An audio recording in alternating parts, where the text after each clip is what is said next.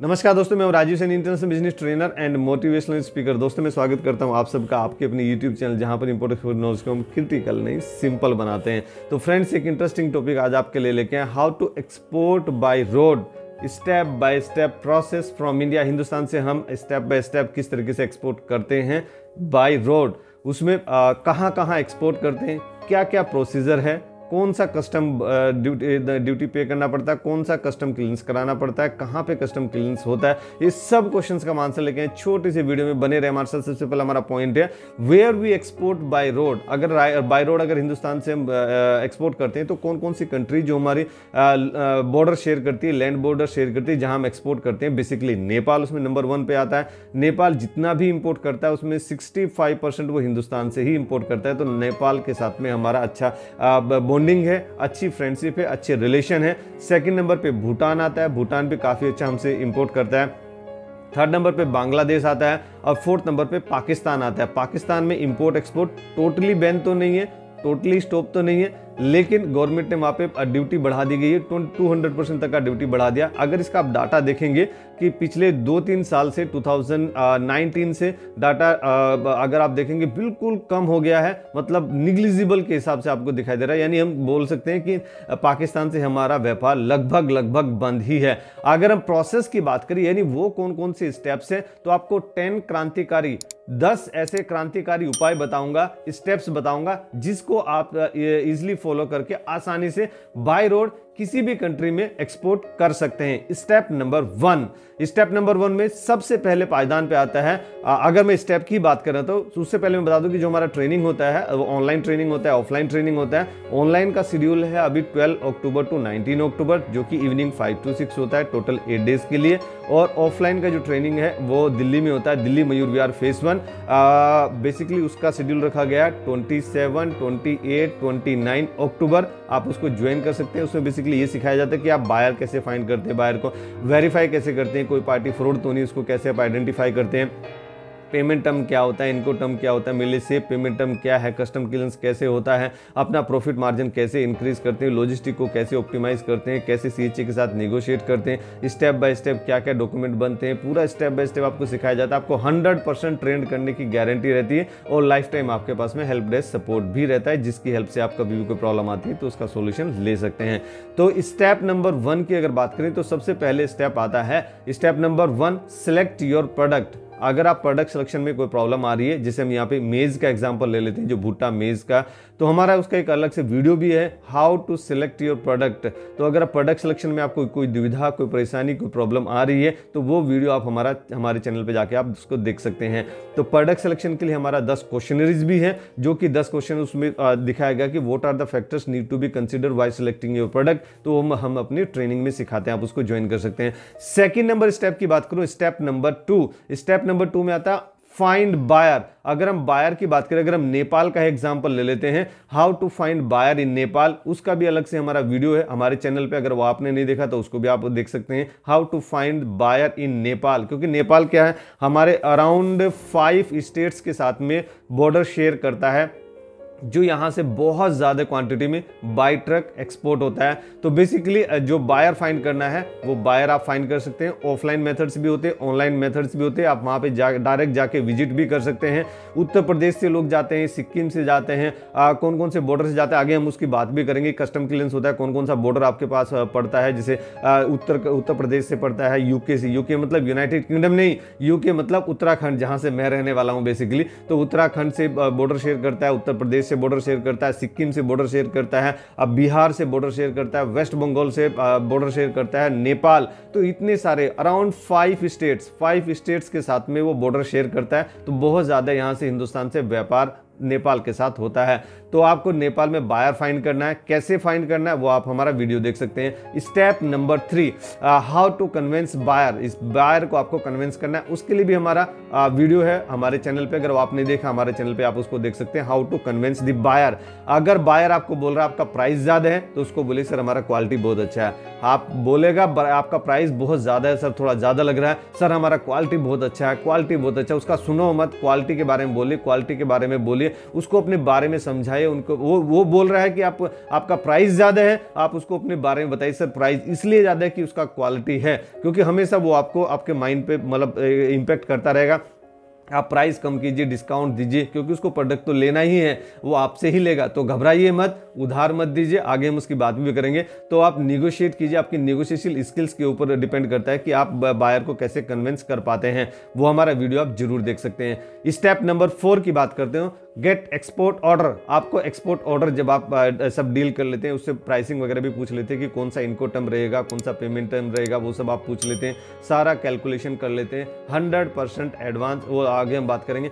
कि आपको fifth number step की बात करें गेट हंड्रेड परसेंट एडवांस जब आपके पास में ऑर्डर कन्फर्म हो जाता है एडवांस पेमेंट लीजिए। अगर आप एडवांस नहीं ले पा रहे हैं तो एटलीस्ट 50 परसेंट एडवांस लीजिए 50 परसेंट एलसी लीजिए। इससे नीचे मत आइए। आप उधारी में तो मत दीजिए क्रेडिट में तो मत दीजिए। मेरा हाथ जोड़ के नम्र निवेदन है। हमारे जो इंडियन हिंदुस्तानी भाई बहन है, उनसे नम्र निवेदन है कि आप बिल्कुल भी उधार मत दीजिए, बिल्कुल भी क्रेडिट मत दीजिए।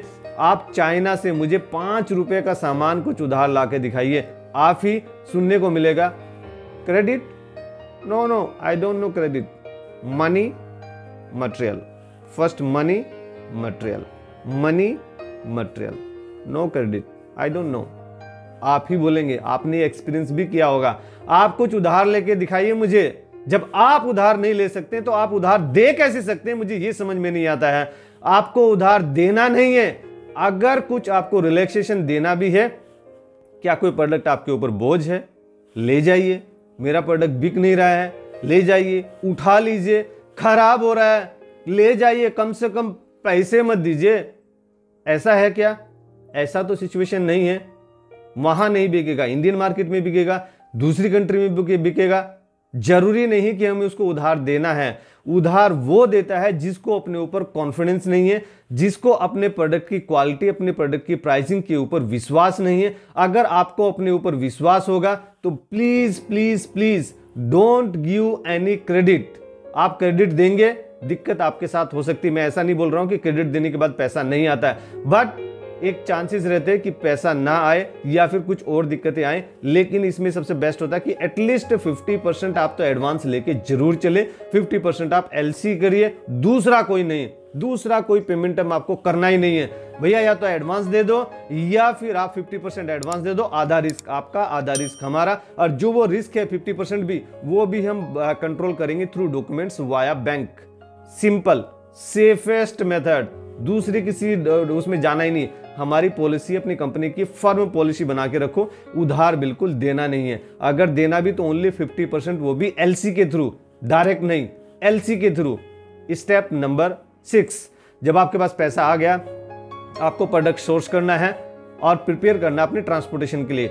स्टेप नंबर सेवन ट्रांसपोर्टर से आपको बात करनी है, जो ट्रकिंग कंपनी होती है, उनसे आपको बात करनी है, या फिर इंडियन रेलवे की भी सर्विसेज़ होती है, जो कि पर्टिकुलर बॉर्डर तक तो आपका सामान पहुंचाई देती है। अगर आपको दिल्ली से दिल्ली से नेपाल बॉर्डर तक लेके जाना तो दिल्ली से उत्तर प्रदेश, का, ये गोरखपुर के पास पड़ता है तो गोरखपुर तक कोई ट्रेन जाती है, उसमें मटेरियल जा सकता है क्या? ऑब्वियसली जा सकता है। आजकल तो इंडियन गवर्नमेंट बहुत ज़्यादा फैसिलिटेट कर रही है, बहुत फैसिलिटी क्रिएट हो रही है। पहले उतनी आईसीडी नहीं थी, पहले उतनी ट्रेन नहीं थी, हमारे पास रैक नहीं थी, उतनी उतनी कॉनकोर की सर्विसेज़ नहीं थी। अभी तो डबल डेक अभी आपको दिखाई दे रहा है कि एक ट्रेन है ट्रेन के ऊपर एक जो कंटेनर है कंटेनर रखा है, एक लाइन फिर एक उसके ऊपर एक कंटेनर और रखा हुआ है, दो डबल डेक उसको बोलते हैं, जिससे कि कई बार आपने मुंबई वगैरह में कई बार बस देखी होगी।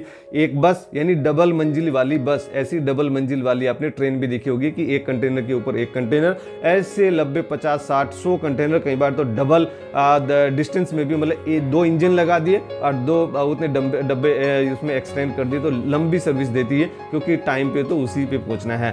सो बेसिकली इंडियन रेलवे से आप कॉन्टेक्ट कर सकते हैं, या फिर प्राइवेट कंपनीज़ जो रहती है, या फिर जो गवर्नमेंट की ट्रकिंग कंपनी रहती है, उनसे भी आप कॉन्टेक्ट कर सकते हैं। Step number eight fine good CHA तो गुड सी से आपको फाइंड करना। अब सी मतलब जो सी पोर्ट पे रहेगा सी उससे बात नहीं करनी। जो आईसीडी में रहेगा, उससे बात नहीं करनी। सी कौन से लेना है? जो वहाँ लैंड बॉर्डर पे ही रहेगा। कई बार आप देखो कि एक स्टेट से दूसरे स्टेट आप जाते हैं। जैसे हम उत्तर प्रदेश से उत्तराखंड जाते हैं, उत्तराखंड से उत्तर प्रदेश जाते हैं तो वहाँ बस से जब जाते हैं तो बस में हम देखते हैं कि हमें तो कोई नहीं रोकता। लेकिन जो ट्रक वाले रहते हैं ट्रक ट्रक ड्राइवर रहते हैं, कुछ पर्ची सी लगा के वहाँ ऑफ़िस में खड़े रहते हैं तो बेसिकली वो हम अपने लाइव अपनी आँखों से देखते हैं कि उस तरीके से वो क्या कर रहे हैं, एक स्टेट से दूसरे स्टेट जब ले जा रहे हैं तो उनको वहाँ पे एंट्री करानी पड़ती है। ऐसे ही कस्टम क्लियरेंस के लिए भी लाइन लगी रहती है। बॉर्डर पे आप चेक भी कर सकते हैं। सिंपल से सेम तरीका होता है, कोई ज़्यादा डिफरेंस नहीं। नेपाल में करो, भूटान में करो, बांग्लादेश में करो, किसी भी कंट्री में करो। बाई एयर करो बाई सिप करो, या फिर बाय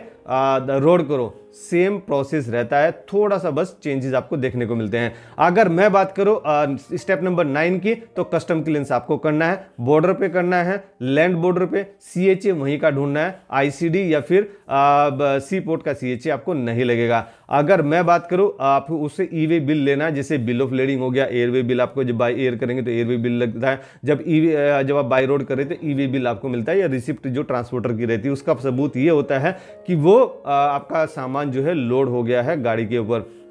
आपको पैसा तो आपको आ ही गया था। आपको last but not the least tenth point EBRC करना यानी बैंक रियलाइजेशन सर्टिफिकेट कई बार ऐसा रहता है, नेपाल के साथ हमारा व्यापार होता है तो उन्हें इंडियन करेंसी में, क्योंकि इंडियन रुपीज़ भी चलते हैं इंडियन करेंसी में बंदे को पेमेंट कर दिया, उसके घर पे आके पेमेंट कर दिया, उसके ऑफ़िस पे आके पेमेंट कर दिया और कैश में कर दिया। तो बैंक में ये रिकॉर्ड नहीं हुआ, फिर आरबीआई से आ जाता है नोटिस तो बेसिकली वैसा नहीं करना है, क्योंकि आप हमारे साथ कनेक्टेड है, आप हमारा चैनल देखते हैं, हमारे व्यूवर हैं, और कोई हमारा जो आप में से ट्रेनिंग लिए हैं, उनको भी ये बारे, इसके बारे में पता होगा। हम अगर आप हमारे कंटिन्यूस व्यूवर हैं तो आपको ये ज़रूर आइडिया होगा कि कंप्लीट साइकिल प्रोसेस करने के लिए आपको लास्ट स्टेप आता है ई आर सी यानी बी आर सी जो पहले था बैंक रियलाइजेशन सर्टिफिकेट तो फ्रेंड्स अगर ये वीडियो आपको पसंद है ज़रूर आप इसको लाइक कीजिए, अपने फ्रेंड्स फैमिली में इसको ज़रूर शेयर कीजिए। हर एक उस हिंदुस्तानी को शेयर कीजिए, जो कि एक्सपोर्ट के बिज़नेस में आना चाहता है, जो नेपाल को टारगेट कर रहा है, या फिर बाय रोड एक्सपोर्ट करना चाहता है। या फिर जो किसान है, जो डायरेक्ट इंटरनेशनल मार्केट में आना चाहता है, जो जॉब कर रहा है, वो डायरेक्ट बिज़नेस करना चाहता है और हमेशा की तरह से खुश रहिए, मुस्कुराते रहिए ग्रो करते रहिए और हिंदुस्तान का एक्सपोर्ट बढ़ाने में हमारी मदद कीजिए। Let's do export together thank you thank you very much